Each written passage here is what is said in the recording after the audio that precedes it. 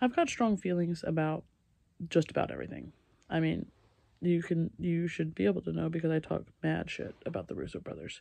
It's on my fucking sight if I ever see the Russo brothers. But someone else that I have mad problems with, and which is so crazy. I love Batman so much. I love Batman. He's probably one of my favorites. I actually might like Batman more than I like Marvel as a whole. Just I don't know, there's something about Batman. But but man's man's needs a reality check. A reality check desperately because why why did he let his kid get killed with a crowbar by the Joker and then do nothing? And then when Jason comes back, why is he mad at Jason? Bruce, you were such a bad dad. Like, come on, girly pop. Like, I, I am aware that you lost your parents early, but that does not give you permission or an excuse to treat all other children like absolute dog shit. I just need you to be aware of that because um it's on sight. It's also on sight. Whoever wrote in or answered the poll, whoever just said, you know what, we want to kill Jason. We we think he's an annoying Robin. We don't like him. He was twelve. He was twelve. Of course he's motherfucking annoying. He's twelve. And you're like, no, let's kill him because we don't like him. And so they let the they let the Joker kill him. I traumatized, traumatized to my very core. And then, I guess it depends on which comic you read because what is it under the Red Hood that Superman is like Bruce, you you can't do this. It is wrong for you to murder. And so he doesn't kill the Joker because he wants to kill the Joker for killing Jason, which is a good response to having to having a psychopath ch- kill your child. The correct response is kill the psychopath. But Superman was like, "Nah, Bruce, you can't be doing that.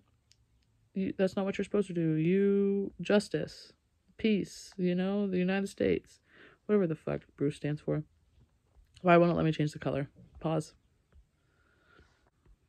And Superman was like, "No, you can't do that." So like when Jason came back, I would 100% understand like if they were like, well, actually, Bruce was like, I tried desperately to go after the Joker, and Batman, not Batman, that'd be hilarious.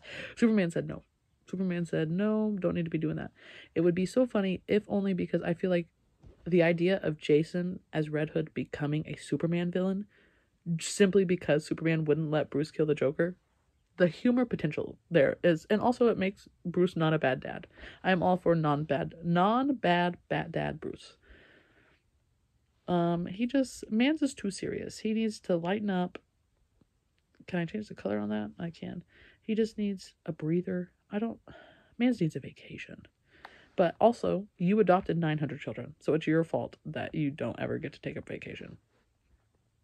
But yeah, there's very few people that I would actively like my enemy list. I thought it was pretty short, but mine are mostly fictional characters: Batman, Superman, um, I love Dick Grayson. I love Tim Drake. Love Damian Wayne, Stephanie Brown, Barbara Gordon. There's the other one.